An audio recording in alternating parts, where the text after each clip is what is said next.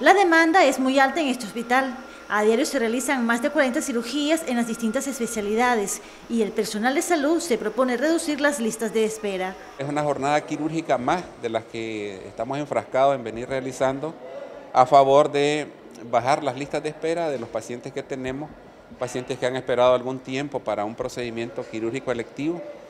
En este caso vamos a realizar procedimientos de cirugía de laparoscópica de vesícula, de hernia, eh, padecimientos menores. Las cirugías son laparoscópicas, un procedimiento moderno y menos invasivo para el paciente. Los pacientes nuestros, aunque sean pacientes de la comunidad, tienen derecho a recibir ese tipo de procedimientos quirúrgicos electivos de alta resolución y que permite recuperarse rápidamente en su postoperatorio para integrarse a sus labores cotidianas. En este hospital las operaciones son gratuitas, pero en un centro privado su valor supera los 2 mil dólares. Celia Méndez Romero, TV Noticias.